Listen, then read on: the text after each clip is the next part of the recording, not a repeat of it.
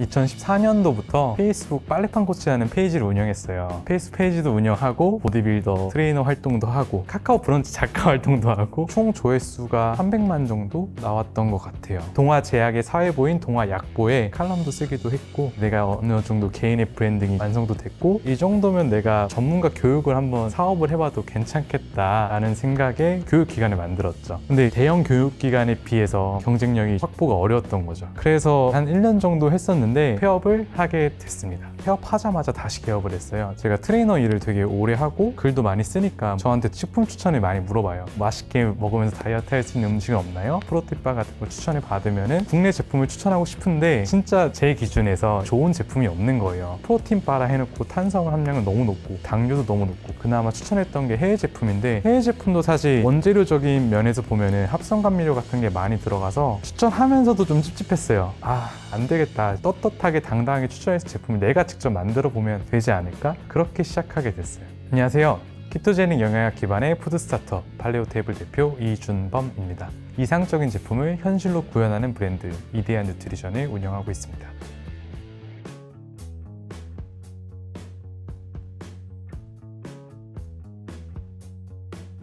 과거에는 저지방 식품군이 다이어트 시장을 장악하고 있었다면은 이제는 지방이 아니라 정제된 탄수화물 문제다. 저지방에서 저탄수로 이제 식단이 변화되고 있는 추세인 것 같아요. 구글에서 그냥 식단 검색량만 봐도 흔히 말하는 저탄고지 다이어트 검색량이 세계 식단 검색량 중에 제일 압도적으로 높아요. 압도적으로.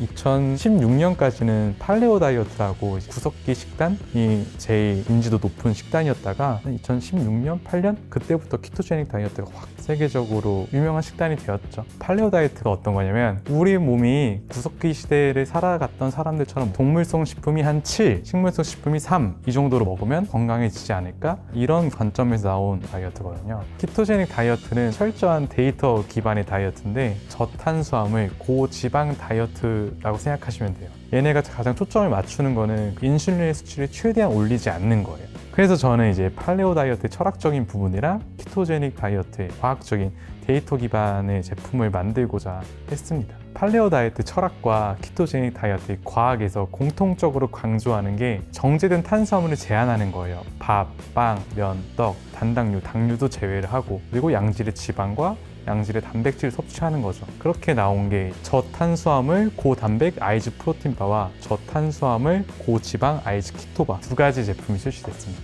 두 제품 모두 국내에서 최초이자 유일하게 무설탕 바 타입 제품이에요. 그냥 이름만 들어도 알 수 있는 원재료만 딱 10가지 미만으로 들어가요. 되게 단출하고 깔끔합니다.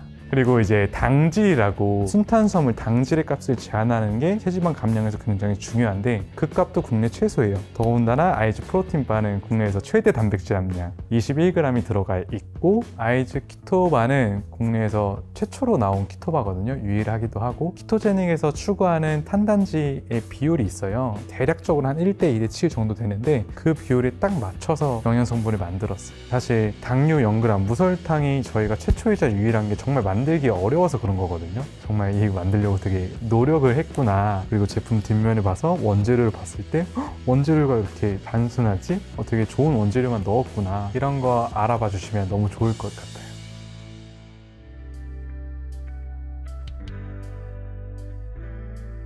약간 의무감이랄까 책임감이랄까 내가 아니면 누가 만들지 자신이 있었던 거는 일단 제가 구독자분들이나 수업하고 있는 회원님들, 전문가, 트레이너, 필라테스 선생님들까지랑도 소통을 하다 보니까 다이어트 식품군을 세상에 존재하는 거의 대부분의 음식 먹어보지 않았을까. 또 제가 자신 있었던 것 중에 하나는 스포츠 영양학을 직접 교육을 했다 보니까 제로 칼로리 원재료 같은 되게 핫한 원재료들도 알고 있었기 때문에 자신 있었어요.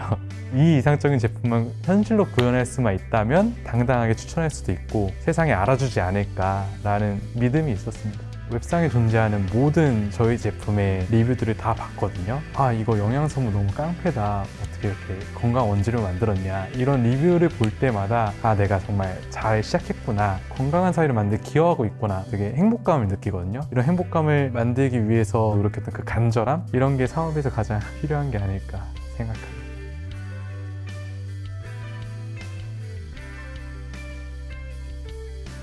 대기업이 동일한 제품 카피해서 만들면 어떻게 할 거냐 라는 질문을 되게 많이 듣는데 저는 그냥 자신 있거든요. 우리는 왜 일을 한가? 사이먼 사인에게 골든 서클이라는 개념이 있어요. 가장 중요한 거는 why, 그 다음에 how, 그 다음에 what인데 대기업이 똑같이 제품을 만들어도 간절하게 그런 제품을 만들고 싶어서 꿈만 꾸다가 현실로 구현하게 된 이런 스토리가 없으니까 똑같은 제품 만든다 한들 소비자는 단순히 제품을 보고 구매하는 게 아니라 그 제품을 왜 만들었는지를 보고 구매한다고 생각해요.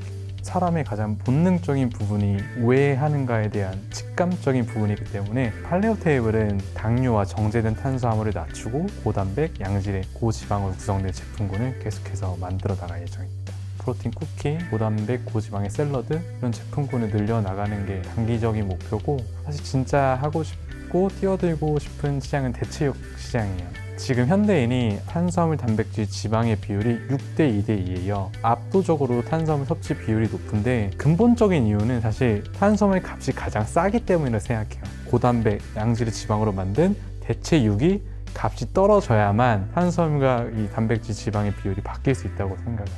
이런 다양한 키토제닉 제품군 나아가서 장기적으로 대체육까지 만들면서 더 건강한 사회를 만드는 데 기여하고 싶어요.